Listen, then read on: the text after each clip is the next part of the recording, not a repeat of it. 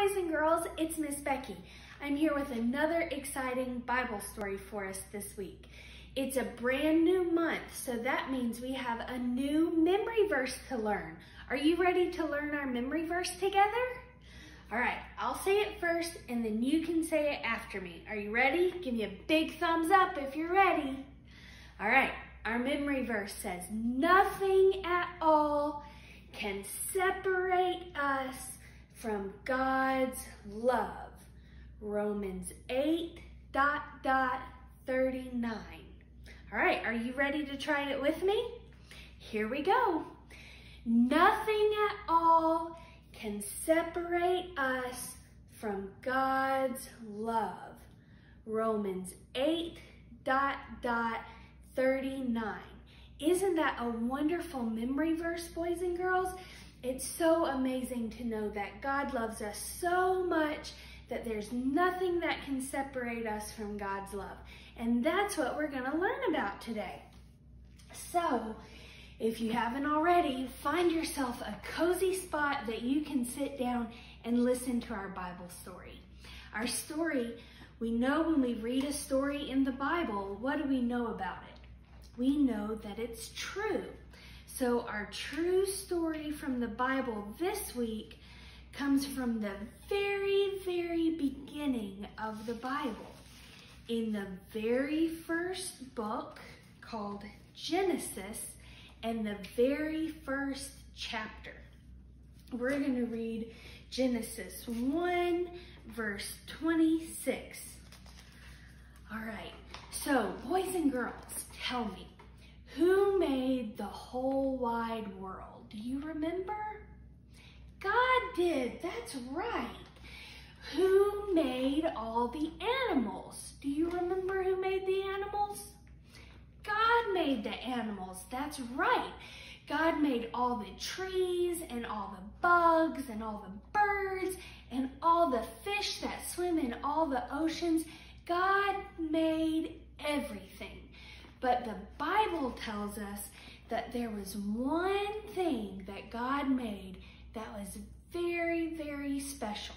More special than everything else that God had made. Do you know what that very, very special thing was? It was you and me. God made people and God made us to be so special. God made all kinds of people and we're all special and we're all unique.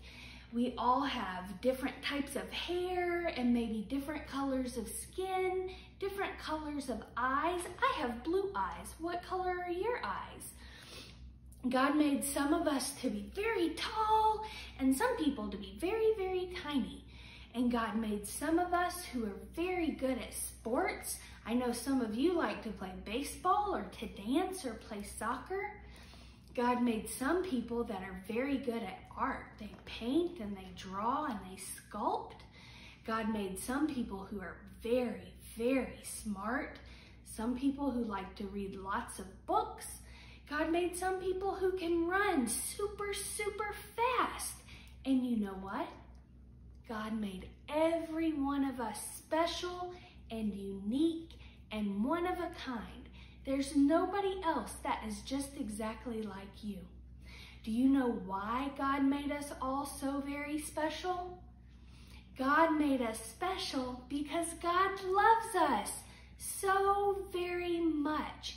Isn't that wonderful, boys and girls? God made you and God loves you. And that's our bottom line this month. When I ask you who made you, I want you to say, God made me. Can you do that with me? Who made you, boys and girls? God made you. That's right. So all this week, I want you to think about the wonderful ways that God made you and how God loves you so very much. All right, we're to pray together.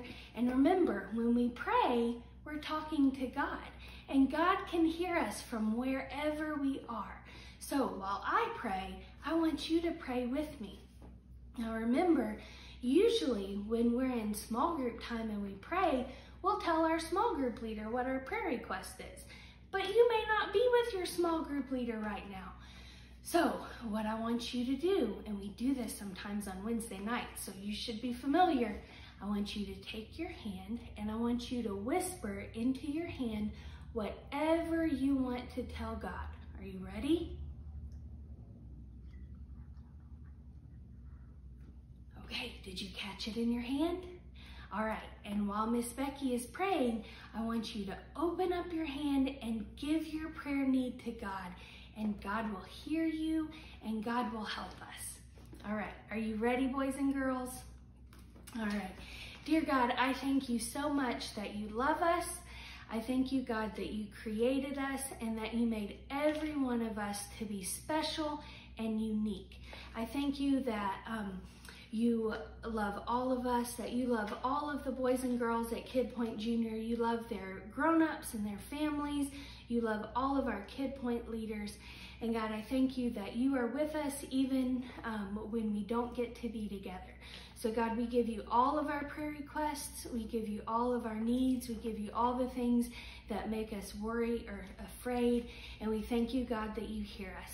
We love you, Jesus. Be with all of my Kid Point Junior friends this week. And in Jesus' name we pray, amen.